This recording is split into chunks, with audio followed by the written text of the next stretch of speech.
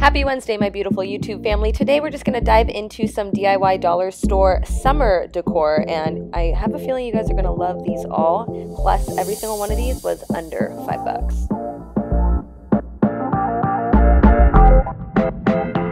For this guy, you are going to need the paint colors of your choice for the fruit you want to do, mason jars from the dollar store, some rope or twine or ribbon if you want to add some extra detail, sanding paper if you want to make a little bit more rustic, and numerous kinds of paintbrushes. I am going to be making a pineapple and a watermelon mason jar, so if you're going to do the watermelon, paint the top half hot pink and let that dry. If you're going to do a pineapple, paint everything but the top like lip part yellow. This is what your jar should look like so far, and this took me about three coats to get this kind of coverage. Starting with the hot pink jar for the watermelon, you're to paint the bottom rim where you didn't paint the hot pink, obviously, some lime green, and you're to let that dry. While that's drying, we can hop on over to our pineapple and we can paint the top lip a darker green to mimic the leaves of the pineapple. Now I'm gonna let the pineapple dry a little bit and I'm gonna go back to my watermelon and paint like right below the lime green, that same darker green we just used on that pineapple. Once you're done with that, let's go back to the other jar. Now we're gonna dip our smaller paintbrush into some black and draw some, or paint some, V's all over this little guy to your heart's content to make it look like a little pineapple. We're gonna switch over to that watermelon and paint the seeds on it with the same black. This is what you guys should have so far, and you can leave it as is, or you can do what I'm to do and make it a little bit more rustic by taking a rougher grit sandpaper and just sanding down the things that stick out of the jar, like further than the jar. Does that make sense?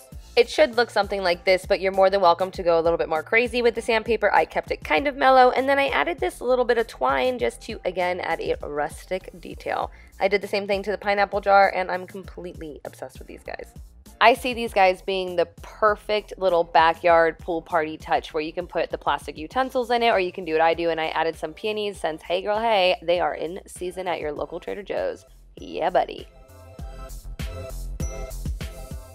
Since I am absolutely loving the watermelon dealio, I just picked up a glass from the local dollar store, some lime green paint, a thicker paintbrush, their utility rope, and hot glue, and I'm lying, you don't need black paint, you need a Sharpie paint pen. Yes, I have a heavy-duty Ryobi wireless glue gun. You guys, you always ask about this. It will be in my description for you to purchase. And no, you guys, this is not sponsored. I wish. Use whatever glue that tickles your fancy like E6000 or hot glue and you're just going to take that rope and literally start from the bottom and start to circle it around and hot glue it all the way up until your heart's content. You don't have to do half the glass like I'm doing. You can do way less or way more, totally your call. Do not freak out in the comments down below. This is like really heavy duty hot glue and I've washed these already a couple of times. I hand wash them. I don't put them in the dishwasher and they actually look great. Once you have the utility rope where you want it, just take that lime green paint, squirt it right on the rope, and just paint it directly onto it. And don't be nervous if you get the paint on the glass. It's so easy to wipe off. And I know that I just said that it didn't come off when you wash it, but it doesn't because it soaks into the rope. Calm down. This is where I said that I lied. You're going to need a Sharpie paint pen versus just regular paint because this stays on, the other paint on the glass does not. So draw your watermelon seeds again to your heart's content. And there you go. You have a little watermelon glass.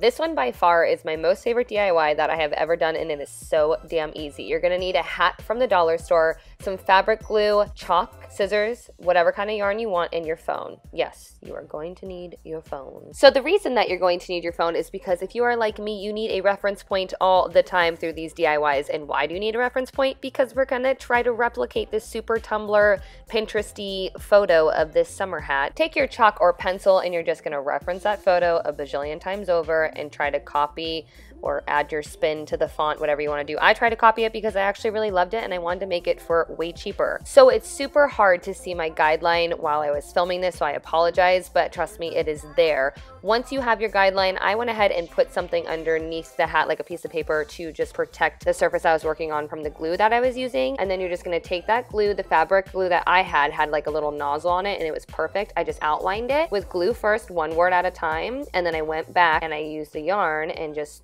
put it directly on top of the glue. Go ahead and repeat that same process to the rest of the words and you can do whatever quote you want. Obviously, I just really love the whole do not disturb feel with the black thin yarn. Once you're all done outlining all your words, you're gonna go back in, or I went back in with a Q-tip. I later went back in with just a end of a paintbrush because it was a little bit easier to scrape the excess glue off. You don't have to do this part because this does dry clear, but it just looks a little bit cleaner. Do not worry about that extra chalk residue. You're gonna go back in with a white eraser, believe it or not, that's a little hack right there, and erase as much excess off without getting the yarn, and then whatever you can't reach, just go back in with some soap and water and a paper towel and just press it there to soak it all up and you're golden. Do not forget to hit that subscribe button if you haven't already, and if you guys don't know, I'm actually hosting a workshop in Studio City on July 29th. Check out the link down below. I hope that you guys enjoyed these pin-inspired slash Tumblr summer decor, or if that's even what it's called, but that's where I see it. Per usual, you guys, thank you so much for your love and support, and congratulations to Jade for winning the giveaway that I announced on Sunday. If you guys are watching to the end of these videos, you should, because there's a lot more giveaways coming at you.